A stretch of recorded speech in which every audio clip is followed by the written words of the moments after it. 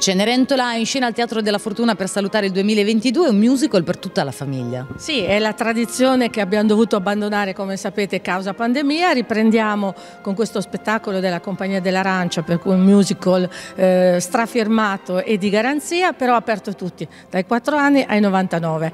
Eh, venite il 31 di dicembre alle ore 22, e spettacolo che durerà un'ora, ci sarà la possibilità poi di farsi le foto con Cenerentola, con il principe e poi tutti insieme in piazza per aspettare il nuovo anno.